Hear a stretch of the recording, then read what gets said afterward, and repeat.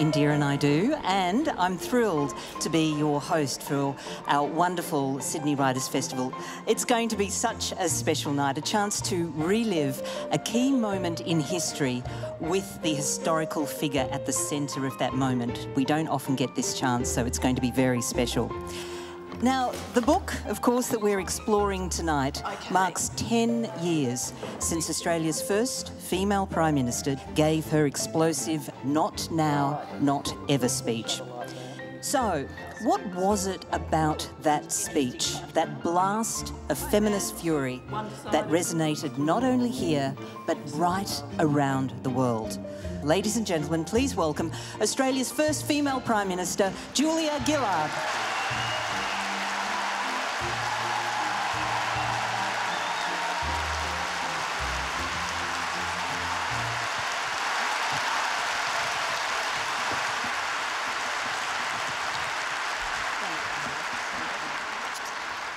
Come into my lair.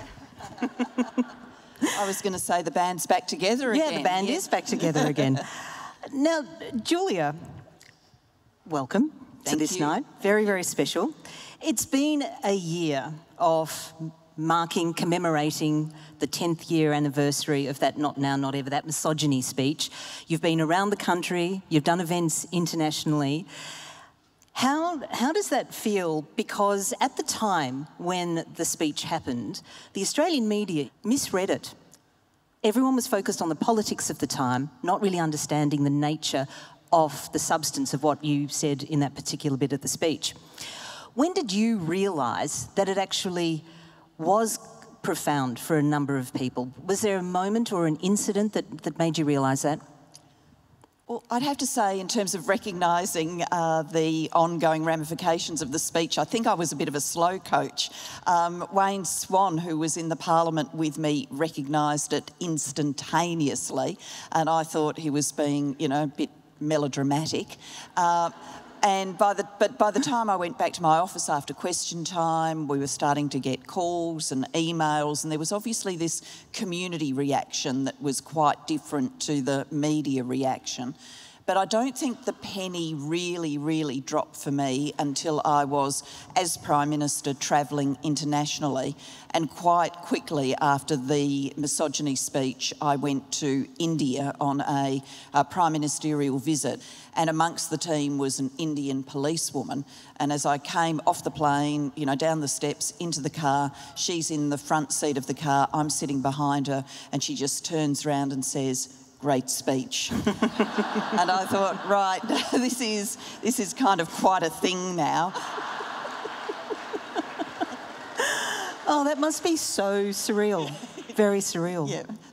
Julia, you say in Not Now, Not Ever, uh, the book that you've edited with contributions from leading women academics and activists around the world, that you said that the actual speech, very little of it was actually planned. In fact, you just had a, a few scrawled notes, and somehow from that became this explosive, fury filled speech that we all know now. So, so tell us how you found the words and, and why you ended up expressing them the way you did.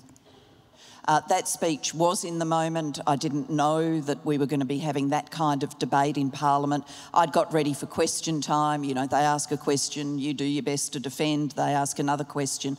And I knew that the theme of the day was going to be on sexism and misogyny because of political circumstances around the then Speaker of the House of Representatives. And so I had asked my staff to deliver to me sort of Tony Abbott's top 10 sexist quotes. So I did did, did have those with me. And I have subsequently joked that of the research tasks I'd set them as Prime Minister, that was by no means the hardest. They um, delivered it all very, very quickly.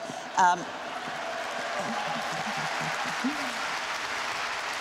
so I, I, had those with me, and I was intending a question had come in, I'd use one with a flourish, and then another question would come in, I'd use another one. But then we moved instantaneously to this debate. So I really only had the time that Tony Abbott was speaking to organise my thoughts. And someone on the back bench did yell, um, "He needs a mirror," and so I. Um, and then on once someone on the back bench has used a good line, then you know several people tend to repeat it, and so there was this chorus of "He needs a mirror." I thought that's a really good line. Um, so, you know, it, but it was coming coming in the flow, and I at no point felt kind of, you know, women particularly have said to me, you know, when I get angry, I get teary. Um, and, you know, that means people think that I'm upset when really I'm angry. And it really makes me angry that people think I'm upset when I'm angry. Um, you know, didn't you feel teary and that kind of stuff? And I am capable of getting. I'm not angry often, but I do know what it's like to be in that state of angry, teary. But this felt different. It was a kind of cool, more forensic sort of anger. Mm.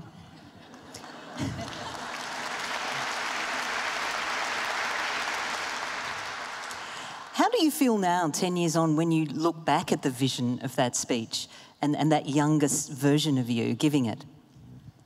I've never watched it oh. from Whoa to Go. Not once, not ever. Um, I've not once, not, not ever. Now, not uh, ever. Could be the next book. Um, I, of course, I've seen extracts of it, but I have never uh, sat down and watched it from Whoa to Go, and I've been quite deliberate about that. Um, I mean, one, I never liked watching myself on TV. I n- never liked doing that.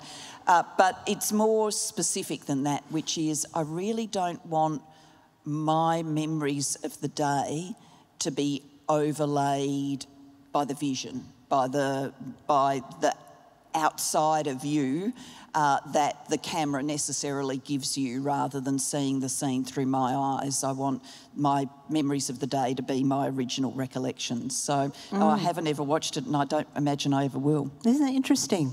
And so when it comes to how you remember that day, what is, is, there an emotion that stays with you? Because often, if, if I ever lose my, my temper and get angry, I, I sometimes can feel quite, oh, I wish I hadn't done that. But after you said that, did you feel that that was a release? I'm so glad I finally said it. Not really. Um, I, I felt this you know, growing frustration as we got closer and closer to question time that I knew that the opposition's attack was going to be framed as me being a hypocrite on sexism. And I did have, and you know, I don't want to use bad language in a big group, uh, but I did have going through my mind, you know, for goodness sake, um, uh, you know. or words to that or insert your own word. words to that effect. Um, you know, after everything I've just kind of taken on the chin and not responded to, now I'm the one in Australian politics. Now it's going to be me, after all of that, uh, who apparently has to put up with the accusations of sexism. So I did feel, you know, this sort of frustration, this, you know, anger building. And I could always feel as I walked towards the chamber the kind of kick of adrenaline for the contest to come. And I really distinctly remember feeling that very strongly that day, but it made me feel very cool, very loose, very in the moment rather than nervous or anxious. And at the end of it, I just felt incredibly calm. It seems as if there'd almost been a bit of a delay with the Australian public in the significance of this uh, speech. Is that, is that what you've felt as you've gone around the country? Yeah, I certainly have felt that. I mean, all of this, the book, the stage shows, it was all and continues to be a fundraiser for the Global Institute for Women's Leadership, where we're trying to, you know, get more research, more evidence about what best clears barriers out of the way to enable women to become leaders. But I actually think it's about a maturing of our conversation about gender and I think people look back at those times and some of the treatment of me and really just, you know, put their head in their hands and, you know, what were we thinking? What, what were we thinking that we ever conducted ourselves like that in Australian politics, and we can do better than that, and we should do better than that, and I think we are doing better than that. Uh,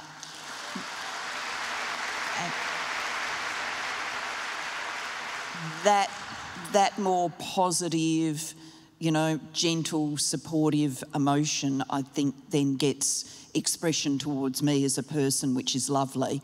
Uh, but more important than that, really, is that it gets expression towards the cause. Mm.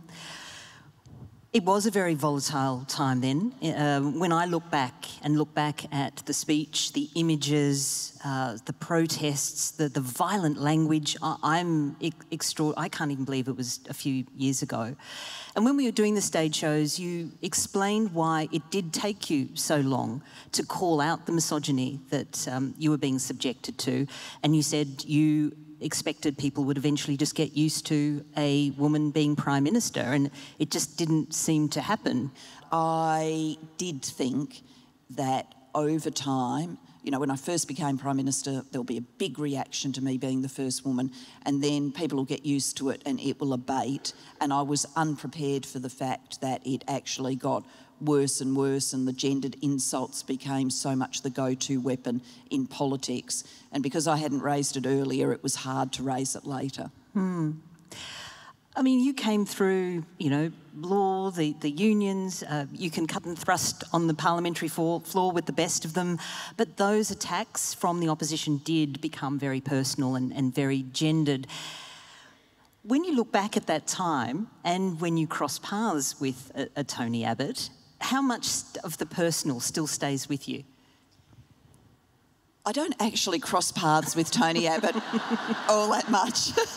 I, I do uh, get asked uh, questions like this, uh, and you know, I, I think that people imagine that we all go and retire to some special retirement village together, and, and you know, we're there playing cards and, and you know, oh, back in the day, like, you know, old, old prize fighters nursing their, uh, nursing their injuries, you know, wasn't I good? No, I got you that day, mate, you know.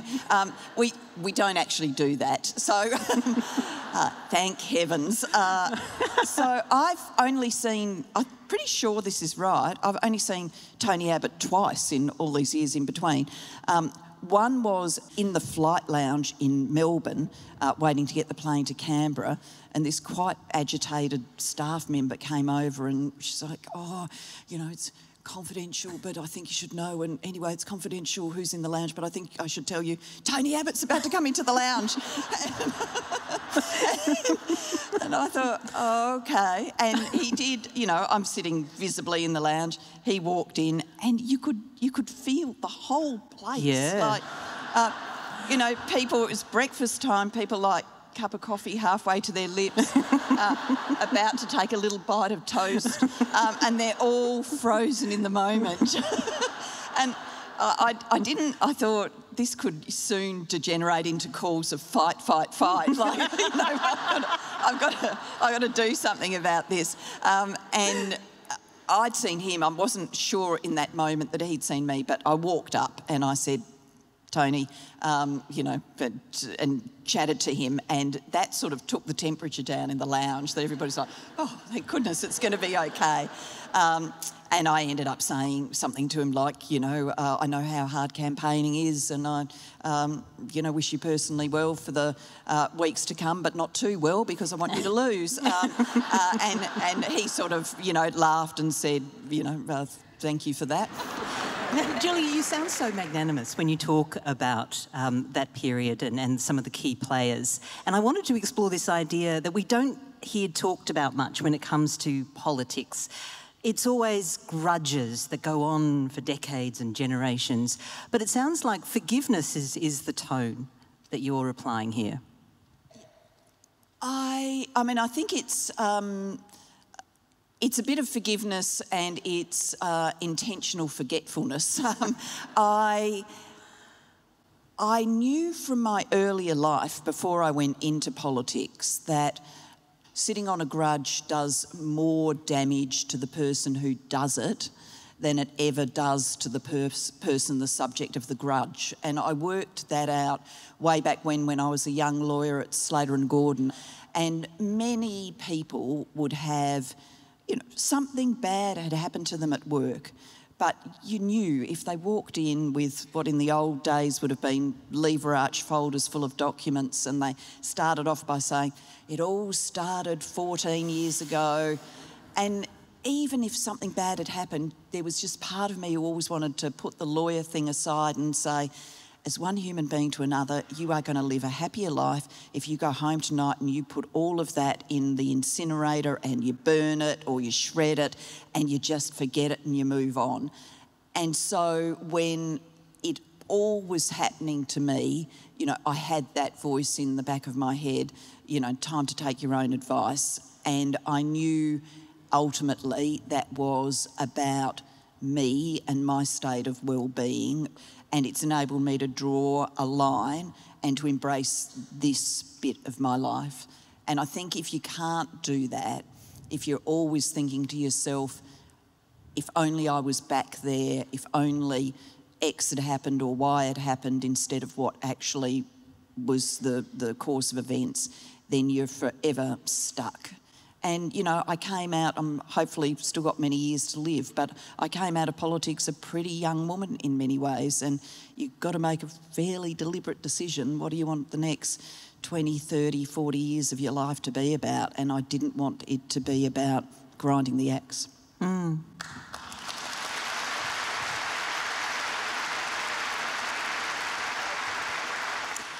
Julia, you now chair the Global Institute for Women's Leadership. So, 10 years on from that speech, what wins do you think we've made? Oh, I think we've. I think we have made some wins. Uh, I think this more mature conversation we're having. Human beings don't fix things unless we get together and we talk about them and we think about them. Uh, the number of women that we see on the public stage um, has certainly increased. I mean, one of the under-remarked things about the uh, Labor government winning uh, nationally is it's a government that is truly half-half, men and women.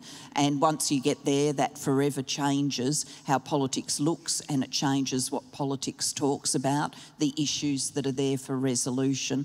I think we've seen a lot of change in corporate Australia, much more thought about uh, women leading businesses. I think we've seen a lot of change in how uh, the younger generation thinks and talks about these things. But there are some ways that we've gone back, and certainly I think the sort of social media stuff drags us back. And I am worried that you know, that social media is now giving birth to a movement which is a sort of misogyny strike back, uh, and that if we're not very careful, that means that this sense of progress will be diminished.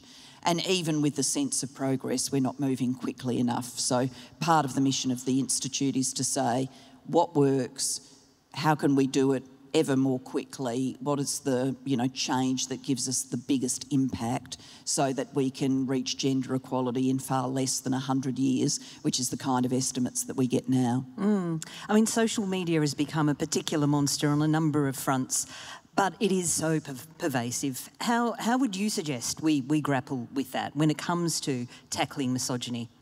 Look, I think there's a regulatory piece here that governments have to think about, and people may well see uh, in the news that you know governments around the world are trying to do some things.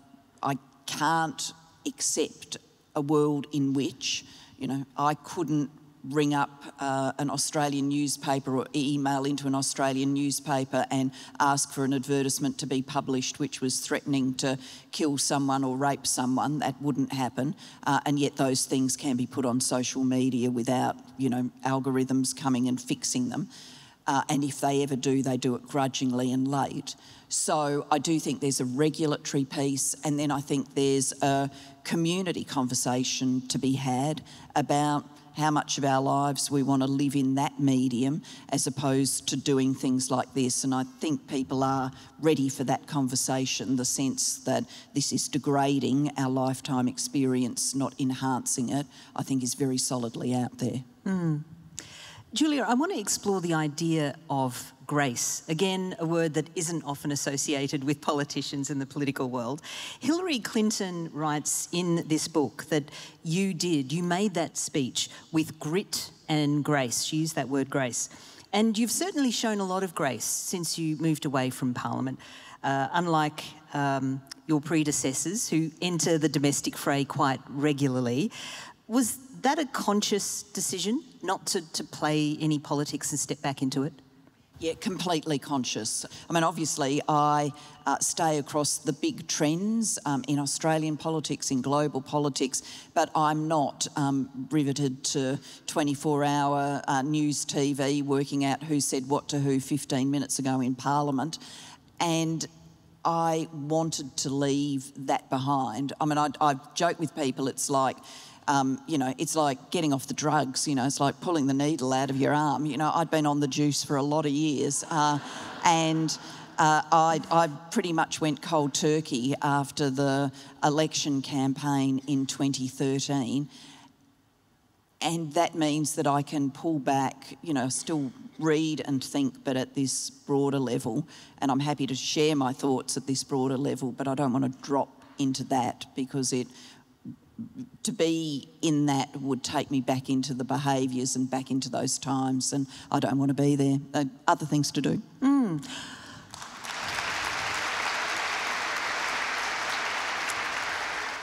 Julia, you said that when, when you resigned, you said that your time as the first female Prime Minister would make it easier for the next one. Now, it's been 10 years since then, and we haven't still seen our next female Prime Minister. Why not?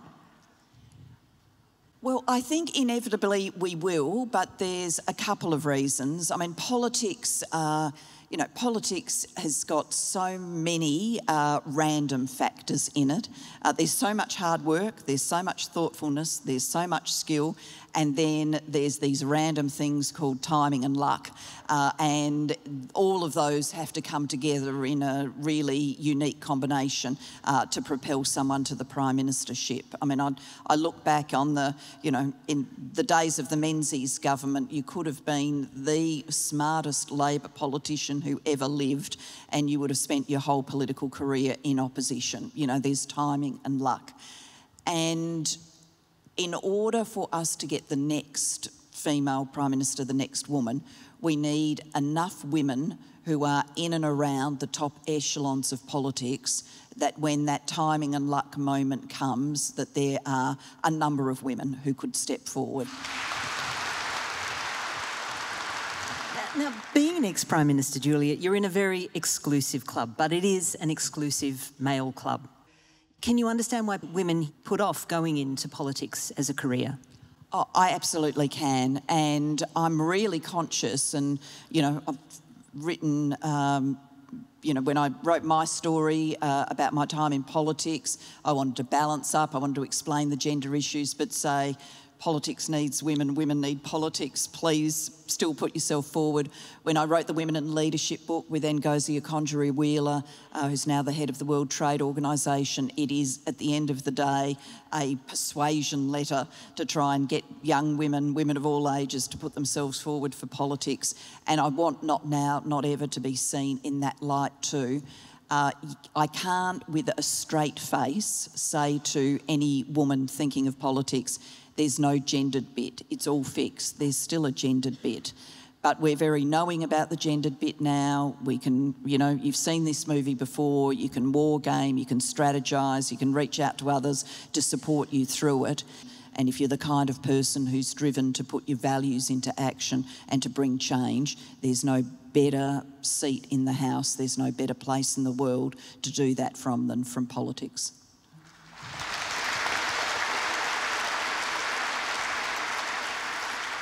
Even someone who you know, is in the media and has been our Prime Minister, can you ever really know them? Or do, or do you have a sense of there's something that I need to keep for me? I'm conscious that I am I'm a person with quite a lot of reserve in in a life that's brought me any amount of exposure and there's there's a sort of weird disjunction in that, and and people, I mean, I think people think that politicians are natural extroverts, that they're people who want to surf off the energy of the crowd, they're people who need it. And there are politicians like that, and, um, you know, sort of all power to them. And I can go out in the world and do things like this and chat to people, and I enjoy it. Uh, but there is this sense of, of reserve, this sort of core that, that is that I keep to me, and I'm just sort of built like that. And I didn't go into politics to do the big, you know, whatever the sort of political equivalent of the, the great sort of personality striptease is, you know, please come and inspect the inner essence of me. I, I went into politics to make a difference, to make a change, to do the things that I believed in. And I don't want you to think that I don't, you know, have a sense of uh, pleasure and assurance and connection in these moments because I do. But it's at the end of the day not the thing that feeds my inner soul. The thing that feeds my inner soul is, you know, I can look back on the National Disability Insurance Scheme or the Royal Commission into Child Sexual Abuse and say, you know, I was there. I, I don't, I hesitate to say I did that because we did that. Um, it was about more than me, but it is different because I was there. That's what feeds the inner soul. And so for me now, in this moment, it's about you know, what can we do through the Global Institute for Women's Leadership? What can we do through Beyond Blue? What can we do through my other engagements that make change and make a difference?